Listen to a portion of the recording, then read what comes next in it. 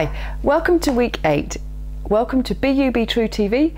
I'm Sandra Robins. I'm an image consultant, and this is your time to get answered any questions you ha may have about your image by me. Looking great requires too much time and money is a question that comes up quite a bit. So I've got a bit of a story.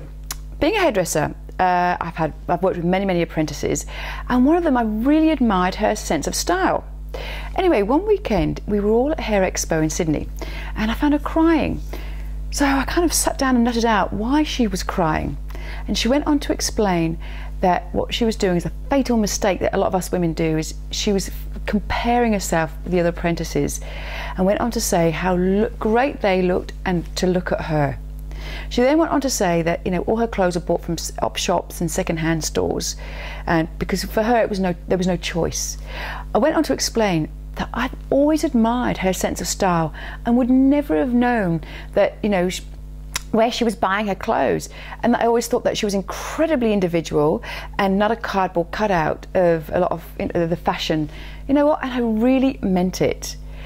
Now, for some women, eh, this could be a bit extreme, buying second-hand clothes. But my message is once you know what colours suit you and what garment shapes look good on your unique body shape, and you have a sense of your personal style, I promise you, you do not need a ton of money to look good.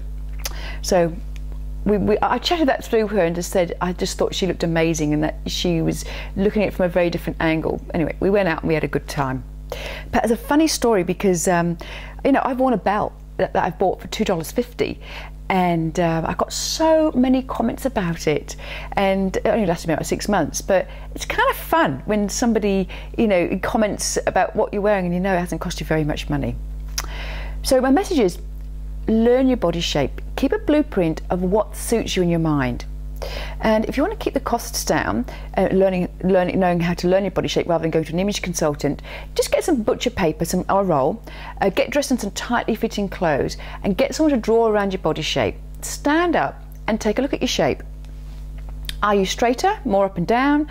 Are you a bit hippier, like a triangle, like me? Or are you broader through the shoulders and you know resemble a swimmer? Are you curved, or you know are you, are you fuller? So learn your unique shape because different garments do look better on different shapes. I would love to hear what tricks you do to look good and not to break the bank. So go over to sandrarobins.com and leave a comment. And until next week, I'll see you then. And if you liked what you heard, subscribe to my channel and share it with your friends. And if you want even greater resources and a, and a wardrobe that you absolutely love, uh, because I put a whole lot of tips in the emails I don't put in my video blogs, then go over to sandrarobins.com and sign up for my email updates. Until next week, I'll see you then. Bye.